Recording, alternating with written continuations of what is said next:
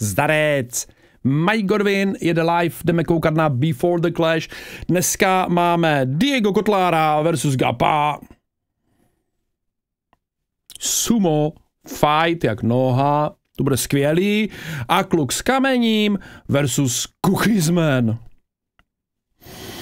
Takže se připravte asi na... hm, Jak bych to řekl slušně? Na randál. Jdeme na to. Přátelé, dobrý večer, vítám vás u dalšího dílu pořadu Hej, když máš úplně nejvíc, já hned ze startu musím říct u toho Cookiesmana, když máš úplně nejvíc sebevědomí, chceš zamávat a nakonec si to jako rozmyslíš a, a vybodáš se na to.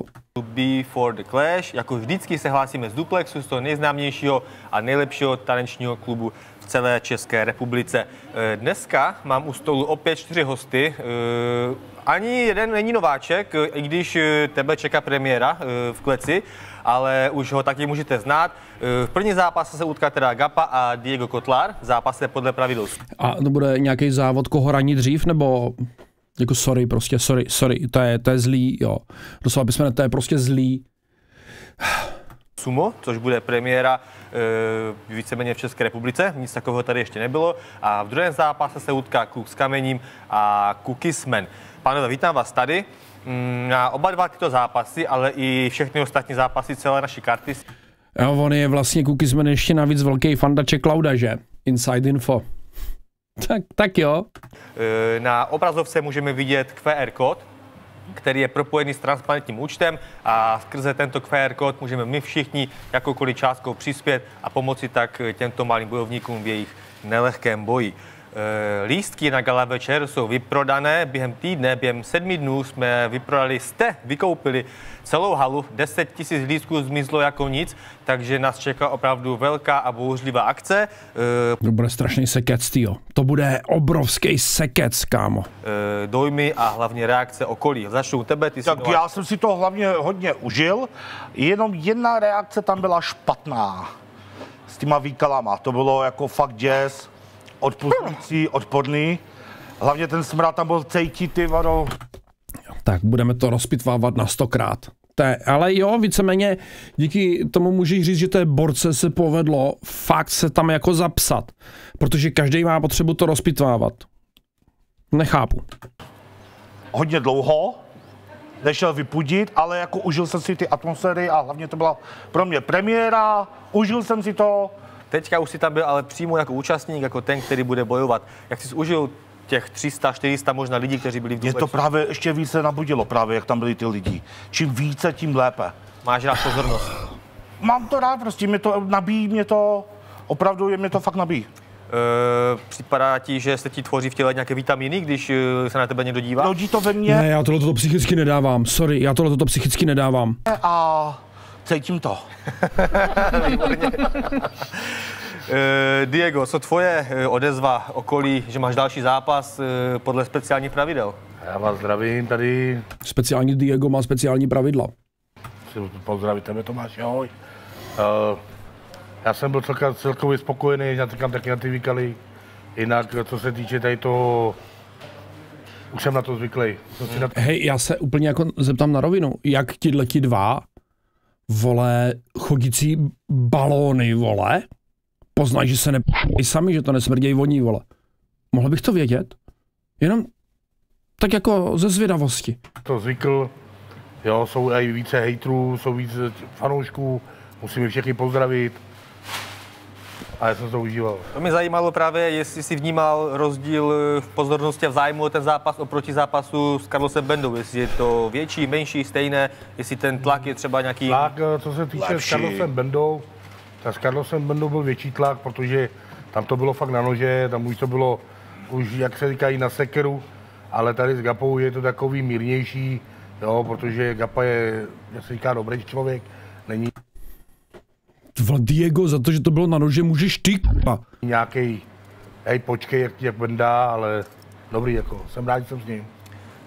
Eh, Jak, jsem, jak jste i sami nastínili, mezi váma žádná zlá krev není. Tady se jedná hlavně o ty speciální pravidla. Gapa se s Diegem utkají podle pravidel sumo, což tady ještě nebylo.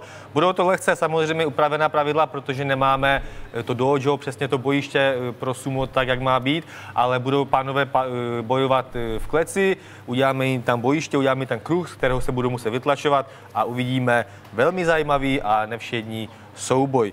Podle ale klasických pravidel v kleši, podle pravidel MMA se utká kluk s kamením a, Mohl bych prosím vědět, proč má Cookiesman ty rukavičky? A Cookiesman. Kluci, mm, prvně samozřejmě, co vaše nějaká, nějaká odezva a, a pocity z tiskovky? Tak moje odezva není žádná jako velká, protože jsem v Clashi už jako doma, takže uh, co, co mám k tomu říct, no? Žádné překvapení to pro nikoho nebylo. No, asi ne, no.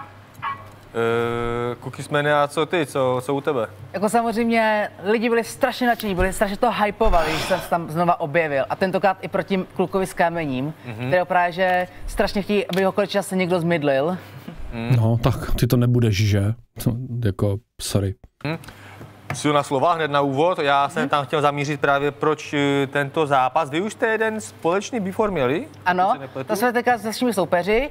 To Ondra to měl právě, že proti Fergamerovi a já proti Matoušovi. Oba dva jste svoje zápasy vyhráli. Ano, a teď jste tady proti sobě. Eh, Proč jste o ten zápas tak moc stáli? Možná si o něho, o něho stál dokonce. že jsem hlavně ty? stál já o něj, protože jakoby, mě už prostě, tu jsou to tři roky právě, co Ondra začal dělat ty, vě, ty sviňárny. A jak Víme, o kterých myslíme. No víme o těch, Tak- to, o tom telefonním čísle přeci ty pako. Aha. Ale telefonní čísla byly fake? Ach jo, no dobře, telefonní čísla byly fake, to je skvělá výmluva. V poslední době na všechno výmluva, je to fake. To je deep fake nebo fake jenom prostě. Ty vole, když to je jasně, když tě sám Fizi natočil, No, je to, dohledatelný jediný, na YouTube. To je jediný, ale v ostatní telefonní čísla byly fake. Jo, tak to jediný, jasně, jediný, přičem tě chytili, uh, bylo pravý, zbytek byl fake, zbytek byl jenom jako, OK, OK, jasně, a já jsem čínský marmeládník, víš co? Fyzi, To jo? Jo, jo, Fizi, Fizi, kamarád. Aha. Eh, To znamená, že už před třemi lety. Který, některý, některý lidi si na té kauze prostě eh, chtěli zviditelnit, no. Od speakera spol, že jo. Ale já- já nevím, jak právě, to že- bylo. Právě, že bych speakera chtěl do klece. K incidentu z eh, tiskovky se taky dostaneme, máme to tady Ano. napsané.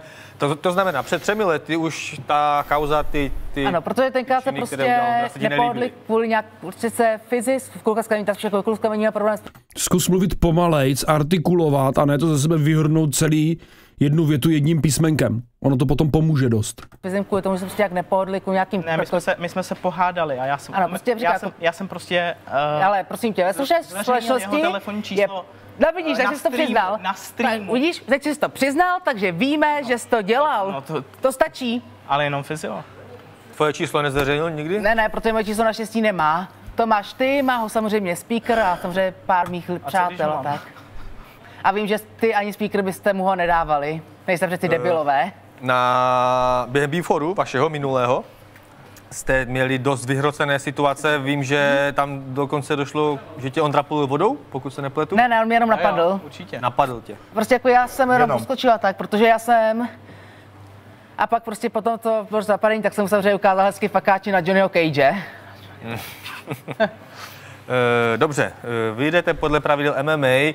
Z toho, co sleduju, tak trénujete oba dva, hmm. dodržujete stravu, eh, hubnete. Eh, Jak jde příprava, s kým trénuješ? Liší se nějak oproti přípravě Jako, liší se, protože je větší příprava, není to prostě taková ta příprava prvotná, ale prostě má už víc lidí, víc trenérů. Samozřejmě hlavní trenér Honza Korčák, zdravím ho tím. Samozřejmě ten, se, ten je jako hlavní trenér, pak dále na box se stará taky pod SFáčkem, se stará Libor Kubal. A pak samozřejmě, něk, samozřejmě že o trénink se stará i můj nejstarší bratr, 30 let zkušeností v různých bojových sportech. Když byl ještě juniorem, tak samozřejmě i se tomu věnoval dříve, jako nás víc profes, ne jako na profesionální protože objížděl ty zápasy a tak. Ne v MMA, ale prostě v jiných, jiném. Ten realizační tým máš poměrně velký, máš tam spoustu trenérů, kamarádů, kteří ti podporují. Jak často trénuješ a co všechno třeba na tréninku děláš? Jako čtyřikrát až pětkrát týdně, ale je, a je to různý. Ale teďka od ledna pojedu ještě víc tréninku, protože nově máme i v gymu grapplingy a wrestling, takže ten budu víc zapojovat ještě do toho. Samozřejmě ten se už chce zpracoval s bratrem, ale samozřejmě... Hele, takhle, respekt, respekt Kukismanovi, uh, relativně jako i klukovi s kamením, uh, chtěl bych vidět jejich tréninky, ale respekt za to, že ze sebou něco dělají. Cvičej, hejbou se, neseděj prostě na prdeli telky, nežerou vitamínky, vole, a netloustnou. Takže jako na jedné straně OK, můžou to být oba dva šašci, šašek s menším a šašek s větším postižením, ale hele, hejbou se, dělají něco. To je podle mě super. To dneska spoustě lidem chybí. Takže jako mm, ten clash sice může být bizár, ale má jiný dopady, než jenom to, že se tady jdeme předvíc do klece, že vlastně jako nic neumíme. Jo? A lidi se nám jdou smát, je to prostě bizár. Zároveň s tím to ale pro toho člověka představuje změnu těch, těch denních návyků, cestu do posilovny, cestu na trénink a to je OK. To je, samozřejmě tenhle ten respekt já nemůžu vyjádřit ani Gapovi, ani Diego Kotlárovi, protože to jsou prostě já se snažím najít teďkom vhodný slova, abych za asi neskazil monetizaci na YouTube, to je jedna důležitá věc, a druhá věc, abych nebyl za úplný hovado, ale jsou to morbidně obézní monstra. Jo, já k tomu nemám mít jaký respekt. Je prostě sedíš a vyžereš se. A adorace tohodle, já chápu, body positivity je skvělá věc, body positivity ale je skvělá věc do té doby, dokud má člověk tendence se sebou něco dělat. Ne, že jenom akceptuješ ten stav, já jsem, vole, fetso a jsem hezký. Ale trošičku jiný přístup, jo. Já jsem sice fetso, ale něco s tím udělám. Pak je to fajn přístup. Protože, hele, eh, hmotnostní, eh, jak to říct, eh, hmotnostní kondice, vyživová kondice obou dvou těchto těch borců rozhodně nemá žádný zdravotní benefit. Jak Diego, tak Gapa měli problém na tiskové konferenci v tři schůdky. Tři schůdky pěkně, prosím tady nepatří body positivity. OK, nebudu říkat, že semka patří body shaming, že bych se jim posmíval, ale sem už nepatří body positivity. Když má někdo pár kilo navíc a když prostě někdo třeba má zdravotní problémy a tak dále, tak je to něco jiného, než když se prostě poctivě vykrmíš na jateční váhu. Teď ho moc víc využívat. Mm-hmm. A zatím ta příprava jde podle plánu, jsi v dobré formě, jsi spokojený jako s tím, jde, tu, jde to zatím podle plánu. I když jsem, když jsem měl nějaké ty zranění, takové ty drobné zranění, které se naštěstí rychle doléčily, takže příprava jde v pohodě, všechno v pořádku. Jde to vidět na to bylo? Hm? Ta zranění k tomu patří, ta příprava ano. na bojové sporty je těžká a musí bolet, aby to o to méně pak bylo no. v pleci. E, tebe příprava, Ondro, taky myslím si bolí. Já jsem viděl pár hodně, záběrů. Hodně. Tomuhle tvému popisu sedí Fety pilou. Je tlustý, ale uvědomuje si to a snaží se s tím něco dělat.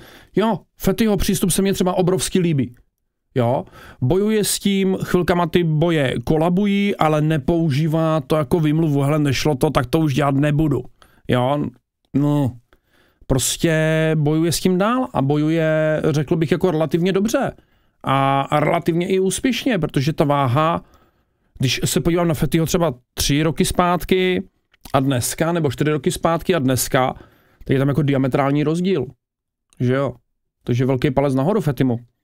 Tréninku, který jsme točili, brzo je uvidí i všichni diváci v rámci mm, série Kdo z koho na našem YouTube. Jak probíhá tvoje příprava, kde trénuješ s kým, jestli, jestli Moje... tam jsou nějaké novinky oproti minulosti? Moje příprava uh, furt je v Gladiátoru v gymu uh, v Českých Budějovicích. Uh, můj hlavní trenér je vlastně Jarda Dubský, Uh, a jako mám více trenérů, nemám jak jenom trenéra Jardu, ale mám i, prostě chodím i na klasické tréninky na veřejný, takže...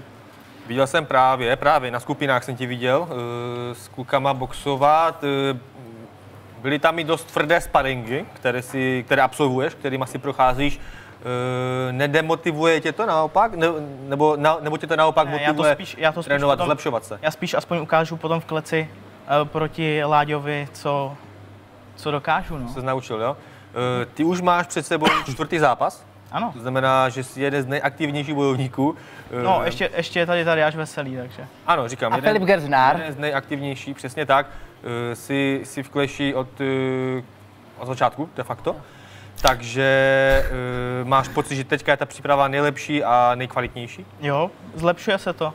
Já si myslím, že, že jdu čím dál víc jako vejš a vejš. To je docela zajímavý komentář. A taky dělají, naspávají se. No, jako jo, jasně, no, tak to je, to je jiný typ aktivity, než ten, který ti prospěje, že jo. Jinak souhlasím, ať jsou, jaký jsou, tak jestli opravdu něco dělají, tak poklona. Ale to je tak vše, jinak je to až na výjimky odpad společnosti. To je takový zvláštní aspekt moderních sociálních sítí a médií, že uh, je to jak na základce. Víš? Ten šašek má vždycky větší pozornost než ten intoš. Ale ve finále v reálném životě je to potom přesně obráceně. V tom reálném životě ani TikTok, ani Instagram nejsou reálný život. TikTok, Instagram a podobně jsou prostě snužka lží. YouTube to samý. To je snužka lží doslova do písmene. Velmi malá, ale YouTube na tom není tak zle, ale jinak velmi malá informativní hodnota a podobně. Ale v reálném životě potřebuješ co? Právě tu informativní hodnotu. Chápeme se. Na druhé straně, co chceš dělat jinýho, eh, když seš nemakačenko, seš d***il a víceméně tvoje specializace je jsem rád, že se ráno nepůjdu a nepůjdu. A podle mapy najdu cestu i na hajzl, vole. Jo? Co chceš, co chceš jiného dělat, než zkusit ty sociální sítě, třeba, třeba to projde. Jo, mně, mně opravdu jako přijde, že na TikToku to je prostě čím větší d***lek, tím víc fans, specialita České a Slovenské republiky. A motivuje tě tvůj soupeř, že, že víš, že trénuje taky, tak aby si Jo. nezaostal za ním? Jo, jo.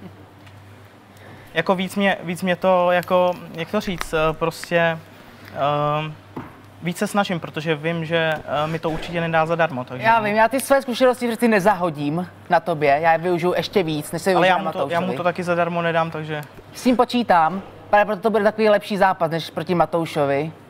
Protože Jako Matoušovi to bylo takový easy win, to bylo jako úplně určitě jasný. ho budu chtít ukončit v té prvních třech minutách, takže Tomu bych nevěřil být s tebou. Ty vydržíš maximálně 20 vteřin, pak budeš, pak budeš po fyzické stránce v píči Možná- možná lidi a potom pak uvidí- prostě možná já potom- budu tu dominanci a vyhraju. možná potom lidi uvidí, co, co jsme natočili v gymu, takže Já jsem sice nemohl natáčet gymu, natáčeli jsme trošku jinde, protože jsme gym zrovna zavřený, ale samozřejmě i tam jsem hodně předvedl a hodně ukázal i to, jak trénuju já. Prostě, že já mám taky, že si prostě trénuju tak, jak, to, jak mi to jde nejlépe a prostě tam jsem ukázal i hodně technik, které lidi, kteří by mohli, kteří jsou, kteří jsou mluví dlouho jak ty, tak s tím taky někteří mají problémy. Co? Tak těšíme se na váš progres, eh, jsem zvědavý. A na váš zápas eh, musím říct těším, protože eh, ačkoliv to podle kurzu nevypadá, tak je podle mě vyrovnaný ten zápas. Já si taky myslím, i když, jak, jak se- já říkáš, se na ten kurzově jsem jste pořádný outsider, ale věřím, že to bude jeden z těch vyrovnanějších zápasů. Ne jako mezi Žeralkem a Babou Jagou. To bylo Co si do toho musí taky kopnout každý. OK. to tebe nebude vyrovnané, bude to no, tak na jednu branku. Jako chci říct tom, jako, že prostě, že to nebude mít lehký a že já udělám všechno pro to, abych vyhrál. To je dobře. Eh, Vaše tréninky, pánové, jsou hodně specifické, hodně odlišné. A Ano. myslím si, že to nemáte mm, jednoduché, protože moc trenérů Suma v Česku není. Je to složitý. Je to složité, ano. My jsme jednoho Je. našli, Pavla Bojara, který Ano. se vás ujal, eh, se kterým jsme natočili váš trénink a opět na našem YouTube Zdravím ho. Zdravím ho taky. to všichni uvidíme. Ten trénink byl dlouhý, myslím si náročný, ale záživný a zábavný. Co jste si z toho tréninku odnesli a trénujete, zkoušíte něco, co vám ukázal? Jako jo, trénuju, trénuju. Já jsem si i koupil vrak, takový menší, takže mám, udělal mi kamarád z- z garáží takový pás, takže ještě tam vlastně za sebou auto, jo, aby jsem stavil nohy, mm. ale fakt je to, co se týče suma, Já absolutně nevěřím, že něco dělá.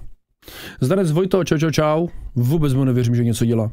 je to olympijský vlastně sport, ale je to fakt, je to fakt náročný. Každý si řekne, že sumo není náročný, ale co se týče tí roztahování nohou a takových těch vlastně těch Holky z OFK by ti řekli, že to je fucking simple. těch uh, pravidel, co tam jsou, je to náročné. Je to hodně náročné. Je to silový, je to hlavně silový. Jako taky jsem si to myslel, že to bude nějaký lehčí, ale určitě to není lehký sport. A hlavně je to hodně silový a o ty rychlosti taky, no.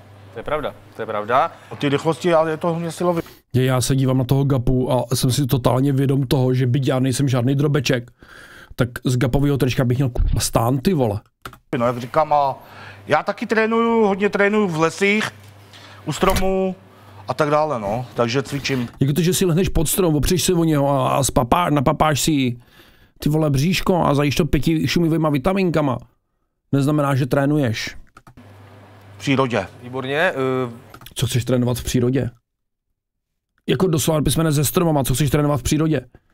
Přetláčenou ze stromem, dokud to nevyvrátíš z kořenou? že, A za jak dlouho jsi zubu? Tohle tak za dva měsíce teďko, no. no, což je To jo, není úplně v zas pohodě. tak Je super. To je dobrý, no. Uh, Jako o tom zápase vím dlouho, že jo, takže... No jo, víme to o tom dlouho.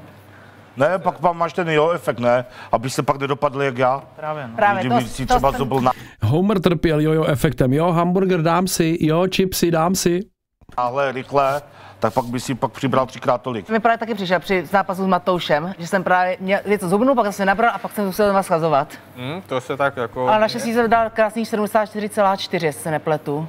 Matoušem. Ano, před zápasem s Omezil Matoušem. jsem hlavně jídlo, no, takže Já jsem jako jídlo neomezil, ale spíš jsem si upra- udělal takový, časově. taková úprava. Prostě jsem dal na radu Syra Robinóza, víme kterého, budějovického učitele.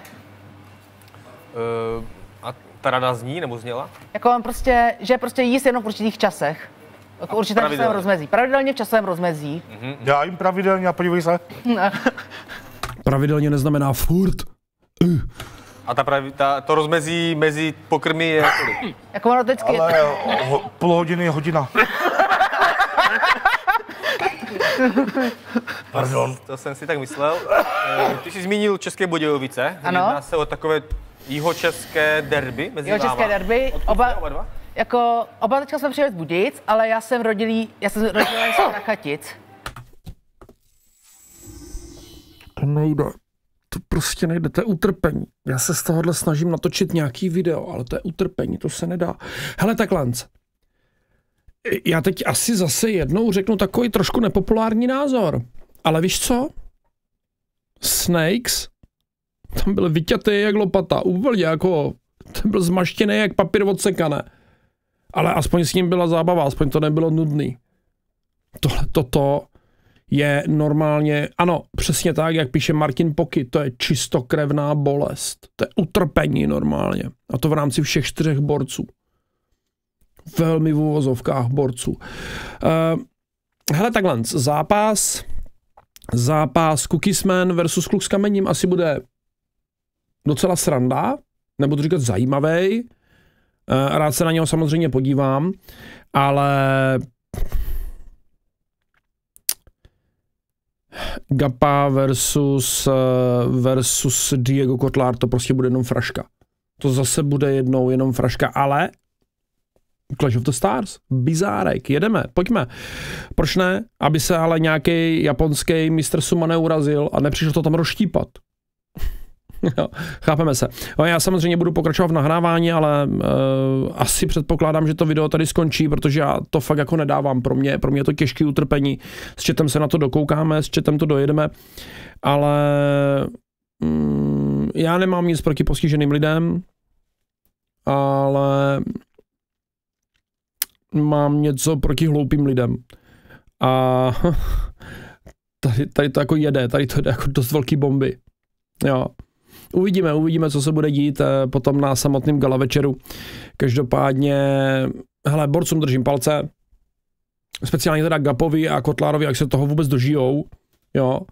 A hlavně, ať se potom dožijou i konce toho zápasu a v klidu odejdou z ringu, protože jako to je, to je fakt o zdraví. Hodně.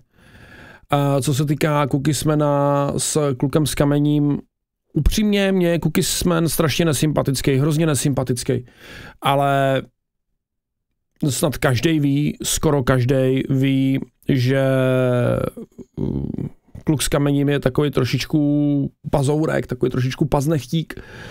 Takže by Cookiesmanovi, byť je to velký fanda Čeklouda, největší fanoušek Čeklouda, OK, tak Cookiesmanovi přeju, ať vyhraje. To je prostě jako asi, asi jako jediný takový závěr tady, tady z tohohle, tady tady z téhleté kiskovky. Thousands of tears later.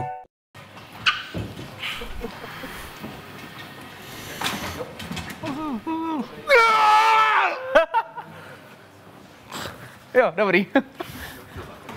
jo. Tak, první piče. stare down si dáme mezi Gapou a Diegem Kotlárem. Panové, pojďte tady za mnou, doprostřed. Snad půjdu vidět taky Budu ještě na kameře.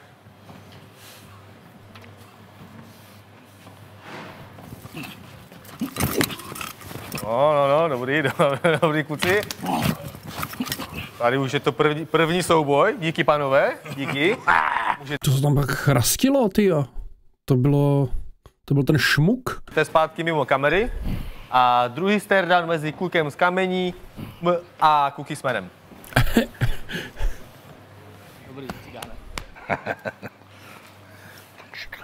Kluci, dobrý, díky.